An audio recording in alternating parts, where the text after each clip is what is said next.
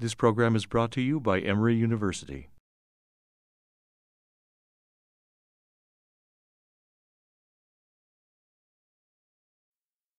To make links in Cascade, there are two kinds of links you have to consider. First, internal links. Internal links take you to pages or files within your own Cascade site. On the other hand, external links are links to pages or files that are not located within your website in Cascade. For example, google.com, your secure website, or another Emory site.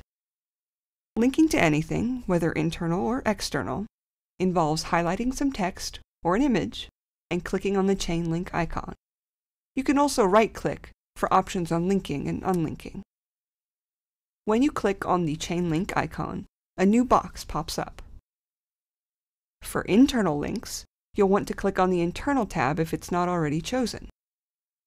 Note the red icon beside the link will also remove a link.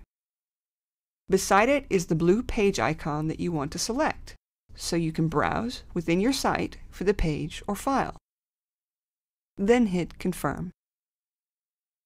For external links, you'll want to click on the External tab if it's not already chosen.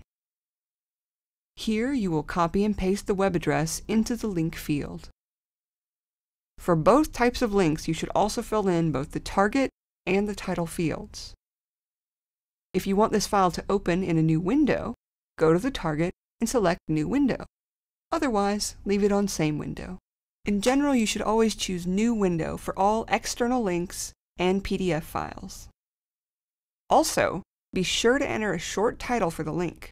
This makes it more accessible and increases its rank in Google search results. The preceding program is copyrighted by Emory University.